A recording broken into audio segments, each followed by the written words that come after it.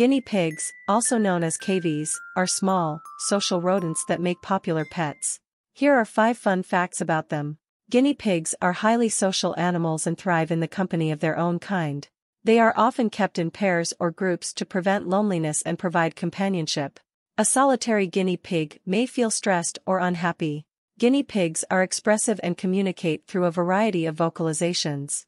They make different sounds to convey feelings such as excitement, contentment, or even distress. Common vocalizations include squeaks, purrs, and chirps. Like other rodents, guinea pigs have continuously growing teeth.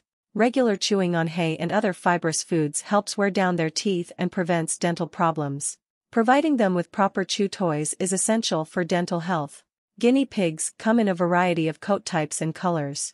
The most common types include smooth, short-haired, long-haired, like the Peruvian and silky breeds, and rough-coated. Some guinea pigs also exhibit unique patterns and color combinations. Female guinea pigs have a relatively short gestation period of around 59 to 72 days.